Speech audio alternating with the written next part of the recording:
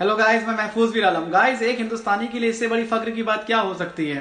कि उसके देश का कोई साइंटिस्ट कुछ ऐसी चीज़ को इन्वेंट करे जिसको पूरी दुनिया इस्तेमाल करे। पूरी दुनिया उसको अपने यूज़ में लाए। गाइस क्या आप जानते हैं कि यूएसबी का जो नाम हम जानते हैं USB keyboard USB mouse pen drive या यूएसबी के द्वारा कोई भी चीज़ को हम कंप्यूटर से कनेक्ट करते हैं या यूएसबी चार्जर जो आपने देखा है।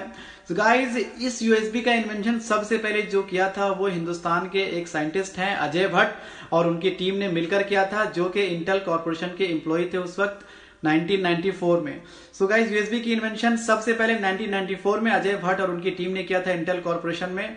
जो कि बाद में ये इन्वेंशन माइक्रोसॉफ्ट और एचपी जैसी बड़ी बड़ी कंपनियों के द्वारा भी सपोर्ट किया गया। और आज ये हाल है कि यूएसबी के बिना एक्सेसरीज कोई भी कंप्यूटर में करने करना बहुत ही इम्पॉसिबल बहुत ही मुश्किल माना जाता है।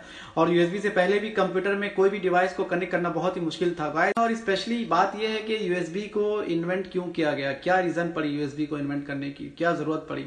गाय जैसा कि मैं आपको बता दूँ कि यूएसबी की इन्वेंशन से पहले कंप्यूटर में जितने सारे पेरीफेरल्स हम कनेक्ट करते थे मतलब जो डिवाइस कनेक्ट करते थे, जैसे USB pen drive, keyboard, mouse, printer scanner sound card आपके हो गए या किसी भी तरह के वाईफाई कार्ड्स हो गए या कुछ भी ऐसे डिवाइस हो गए जो हम कनेक्ट करते थे, जो कनेक्ट करने में बड़ी दिक्कत, बड़ी प्रॉब्लम होती थी क्योंकि इन सब के जो शेप हुआ करते थे, प्लग्स के बिल्कुल अलग अलग हुआ करते थे और उसके लिए ज़्यादा सुटेबिलिटी नहीं थी पीसी में कंप्यूटर में।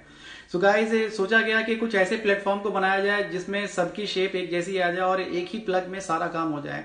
उसके बाद इन्वेंशन किया गया यूएसबी का। इसीलिए हम उसे यूएसबी कहते हैं यूनिवर्सल सीरियल बस। मतलब कि वो यूनिवर्सल है। मतलब कोई भी डिवाइस आप उसे कनेक्ट कर सकते हैं, जैसे sound card keyboard mouse pen drive etcetera thank you